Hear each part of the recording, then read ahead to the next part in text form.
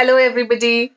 We are here to announce the launch of Saanvi's third book that's launching today. And on this occasion, I thought of doing a little interview of our six year old author, Saanvi Agarwal. With me here is Driti Agarwal, who is three years old and has been supporting her sister in her book writing journey. So let me ask you a few questions, Saanvi, uh, in terms of your writing journey. First of all, congratulations. Your first couple of books did really well. They went on number one on Amazon. In fact, one of your books also won an award from Young Writers Association, which they are going to publish in their. And they're very famous Yes. young writers. That's right. How do you feel about that, Saanvi? Really proud of myself. Oh. And you, because you encouraged me on my journey. Thank you, Saanvi. The credit is all yours to be having, you know, writing it all down in terms of proper stories, which takes a lot of effort. So tell me about it. How do you go about choosing the book titles? Uh, which story will you write Right. next?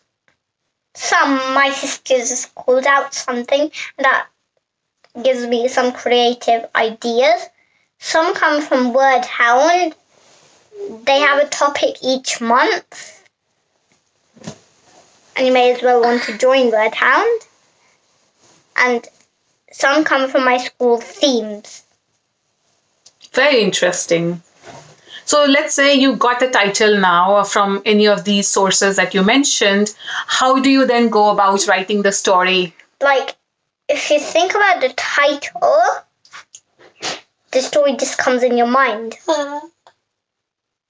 And then you do it with the illustrations. Okay, and how do you go about the illustrations? Like some I draw myself, or others, my mum takes photos of me, she removes the background, and then she puts it on our book. Very interesting. So you got the title, you got the story, you got the illustration. It's then a matter of putting it all together as a book and self publishing it on Amazon. Right. Tell us, Saanvi, what inspired you to be on this book writing journey? uh, my mom. but she wrote a book called Life Simply Moves On. And it's saying, and it's all about life won't wait for you. It'll just move on without you. So, seeing that published into a book encouraged you also to write books? yeah. Right. And what else, Anvi, do you want to share with your readers and your fans who have been enjoying your books? Like, if you really are into book writing, here's a tip. If you want to write good books, you should read loads of books too. That'll give you ideas to write a new book. That is true. I can vouch for that because Saanvi is an avid reader and she has read pretty much all the book sets from famous authors, starting from Enid Blyton, Roald Dahl, or other series uh, like you know Rainbow Magic. Uh, what are your some? Tell us some names of your favorite series, Saanvi book series. Uh, one is My Secret Unicorn. My dad just went to a shop and he found his book set and he suggested it. And when I read it, I really liked it. Any other series you want to mention for your uh, viewers? Um, not really.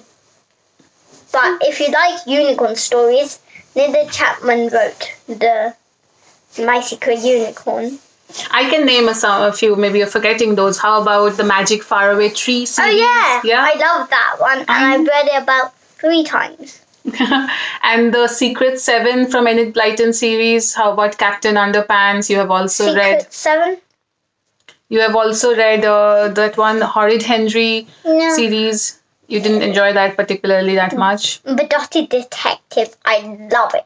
Dotty Detective. Like it's got five books, and each of these books are about this thick.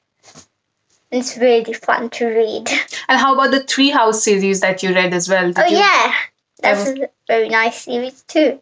And how about the one that you're reading now on Daisy? Oh yeah, like the Daisy one is Daisy and the trouble with. Then there are many different things, and at the beginning she says the trouble with this is whatever, and then they have it in all the books in the series. So, Basically, the point is read, read, read, because the more you read, the more ideas you get that you can then write down about. Or you can even mix two book sets together and get a great idea. Absolutely. What can we expect next from author Saanvi Agarwal?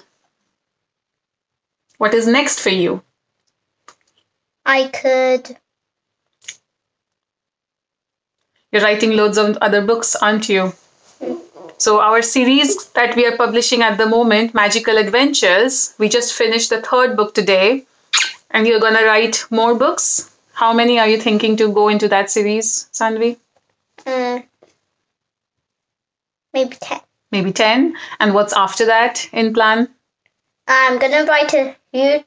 I'm gonna write a series all about my little sister who's sitting over here. so there's going to be watch out viewers there's going to be another series after we finish magical adventures on this little babe here driti thank you saanvi it was lovely chatting with you and do let us know viewers if you have any questions that you would like me to pose to saanvi in our next interview do check out amazon for the books from saanvi the latest one being day trip with an alien And there's uh, two more, which are a bear and a bear hunt and my spooky house. Perfect. So until next time, ta ta, bye bye, see you.